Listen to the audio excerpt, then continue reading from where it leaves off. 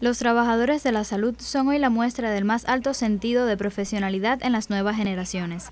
En ocasión de celebrar este 8 de marzo, se entregó un reconocimiento por el humanismo brindado en estos tiempos de una situación epidemiológica compleja. La enfermera, dentro de todas sus cualidades, lo primero que tiene que tener es humanismo. Tratar al paciente como si fuera su familia, como si todo lo que estuviera alrededor de ella fuera eh, algo incondicional. Trabajo específicamente en el salón de cirugía, cuando el paciente se opera, al otro día. Es gratificante ver cómo ya él recupera su visión, son personas adultas que generalmente han tenido que dejar su vida social por déficit de visión, al lograr la cirugía pues es gratificante ver es el resultado. Se entregó el sello del mérito al humanismo, sensibilidad y solidaridad a dos enfermeras de la provincia, así como también una placa por la atención a pacientes con la COVID-19.